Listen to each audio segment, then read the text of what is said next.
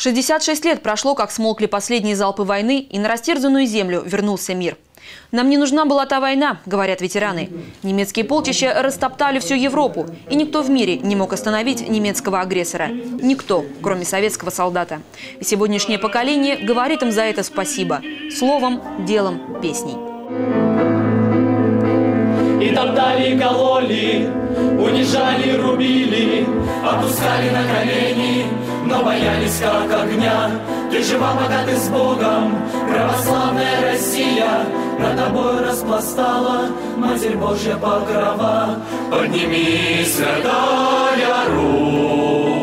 Такой подарок ветеранам Великой Отечественной к 9 мая сделали воспитанники детско-юношеского центра православной культуры «Умиление» из села Заплавное Ленинского района.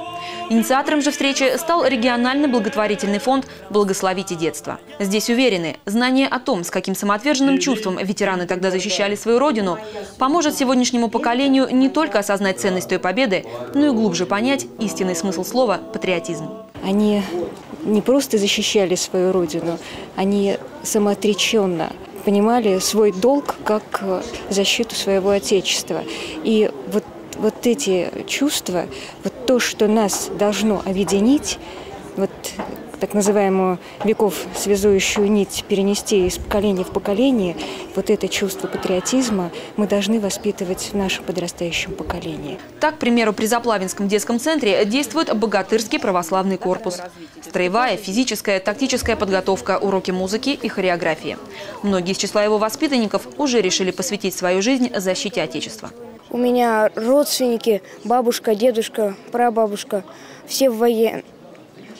Военные воевали, наверное? Да, воевали. И потому что я хожу сюда на военную подготовку, мне очень нравится. Я хочу защищать Родину. Связь поколений, преемственность традиций и сохранение истории своей страны. Именно так можно сформулировать цель еще одной встречи, которую организовал благотворительный фонд «Благословите детство».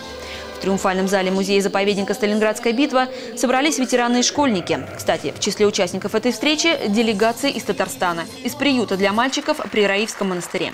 Ребята приехали специально на торжество к Дню Победы по приглашению губернатора, с которым они познакомились в прошлом году во время его визита в Казань. Там мы узнали о ребятах, о том, что при монастыре а, существует э, приют, и а, у них есть вот воспитанники, а, дети, которые э, не имеют свою семью.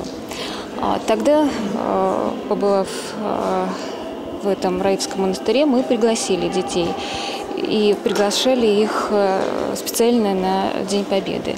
В Волгограде подростков ждала насыщенная программа. Самое большое впечатление на них произвела, конечно же, главная высота России – Мамаев курган. То, что мне рассказали, то, что экскурсию показали, это вообще самое замечательное. Просто счастье. Я не могу просто передать вам это. Просто все внутри себя пока еще. Ну, как уеду, уж все буду понимать. А сейчас как бы еще просто побольше вот охота пока в себе поддержать, а потом все это выпустить. На память о встрече гости из Казани вручили губернатору список иконы грузинской Божьей Матери, главной святыни Раивского Богородицкого монастыря.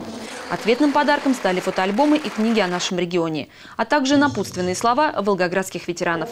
Хранить и любить нашу общую родину. Мы, ветераны, естественно, уходим. Но уходя, мы передаем вам свою родину.